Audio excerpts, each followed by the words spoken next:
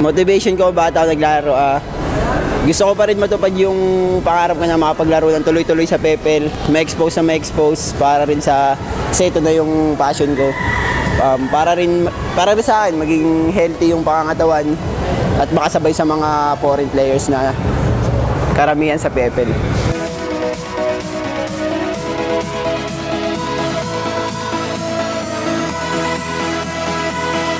Siyempre, yung mga motivation na kailangan ko is yung to get back on track sa field kasi ah, ilang months din ako ah, nawala right after yung nagkasakit ako. And yun, ma- mas marami pang mag-improve sa technical, ganun, skills.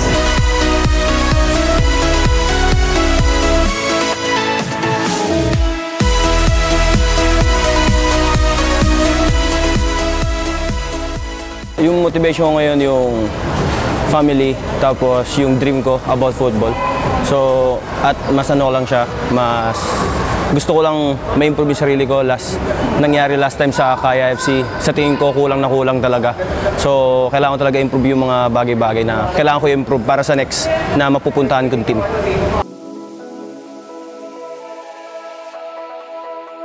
Sa umaga, kapag lunes, merkules at Friday, ah, training ako sa national team and Tuesday, Thursday, ah, Saturday sa school ko sa De La Salle University.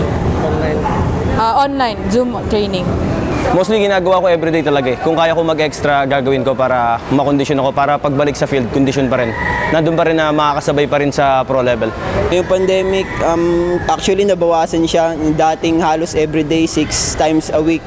Ngayon halos 3 days na lang. Minsan tinatamad pa dahil wala, wala kang motivation na walang liga. Walang motivation na ganun. Alam mo pa rin yung may pinaghahandaan ka. Ngayon, ang isip ko na lang is maging fit talaga kung sakaling bumalik man yung liga.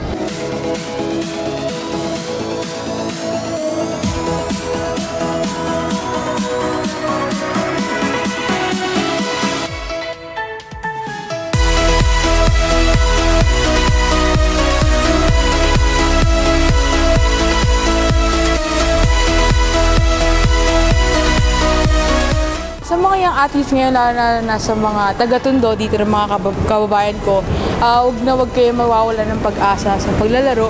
Di porket nagka-pandemic, wala nang, ah, wala nang pwedeng gawin. Ah, ito katulad sa amin, tinatry pa rin namin, gumahanap pa rin kami ng paraan kung paano kami maglalaro. At sana ganoon din sa inyo. Yung message ko sa mga young athletes na kahit ganito yung sitwasyon, kung talagang may pangarap ka, hard work lang, gawa kayo ng time to train para mas lumawak yung kaalaman nyo sa paglalaro, ganyan. Mas i-improve pa yung sarili para maging ready sa mga susunod na laro.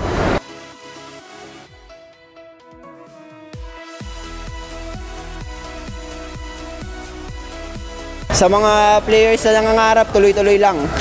Ayun nga, sabi nga, minsan panalo, minsan talo. Bilog ang buhay. Laban lang, tuloy-tuloy ka. Pandemic lang yan. Kaya natin to.